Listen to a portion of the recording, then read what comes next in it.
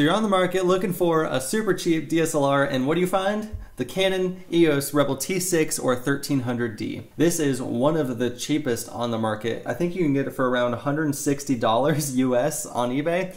Pretty darn cheap. Honestly, this is a great camera for the money. Just in general, this camera has an APS-C size sensor with 18 megapixels, which isn't a lot, but it, you won't notice the difference. If this is your first DSLR, this would be great. Um, it does not have a flip out screen and it has no audio in jack, but it does have like a remote input, a USB jack, and it has an HDMI out, which you can plug straight into a TV or a monitor so that you can see yourself when you're recording and stuff like that. And it has all the manual controls you would ever want. You can go completely manual in video or in photos, and it can shoot raw photos. So for photography, I would recommend this camera as your first DSLR. Say you're shooting right now with a point and shoot or your cell phone, this would be a great upgrade. It has completely manual controls, like I mentioned earlier, shoots raw photos, and uh, it has the Canon lens library, which is just absolutely massive. You will never run out of lenses to buy for this camera. And what's great is if you ever want to upgrade cameras, you can take all of your lenses that you bought for this camera and just swap them over to the next Canon camera if you buy a Canon. So say you want to buy a full frame uh, camera after this, you can just keep all of your lenses. And that is a huge, huge selling point of buying a very cheap Canon camera. Also, for photography, this camera has the ability to transfer photos over Wi-Fi straight to your phone, which is wonderful. You just download the app, it's super easy and that way you can like take a photo on this camera and transfer it over and upload it to Instagram right away. That is really great because you don't need to go through your laptop with SD card and do all that mumbo jumbo. Now also with it being a Canon camera, you also have their very easy to use menus. A couple things this does not have though is uh, the ability to do a time lapse in camera. You'd have to either hook up your laptop or buy an intervalometer so that you can do that. Now, for videography, this camera is interesting.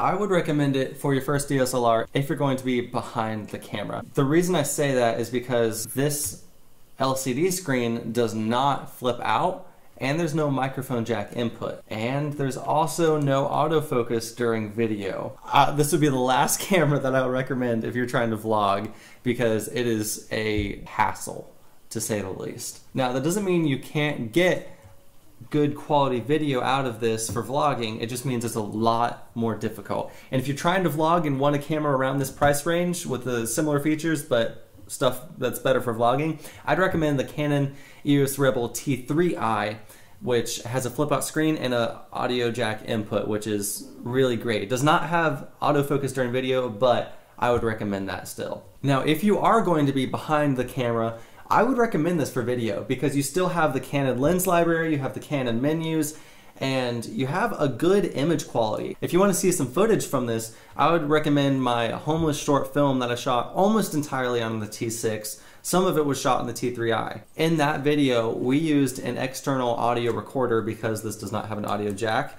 And that, honestly, that worked really well. If you're shooting short films and you're going to be behind the camera, I would really recommend this because you're probably going to want an external audio recorder anyway. And when you're just starting out, you can just use your phone with the audio recorder on your phone to get decent audio and just sync that up in post. It's really not a big deal when you're starting out. Now, if you're vlogging, definitely just don't even look at this camera. Go to the T3i, SL2, something else. I would recommend something else for sure. Now, in conclusion, I would recommend this camera for beginner photographers or beginner videographers if you're going to be behind the camera as your first DSLR.